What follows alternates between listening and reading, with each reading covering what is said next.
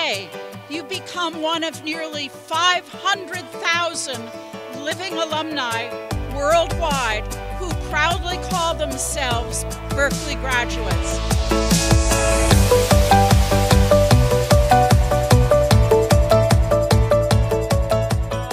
Good. It feels like I didn't know it was ever going to happen, so it's really exciting. I do have my family here. I have about like 20 people actually in the stands right now.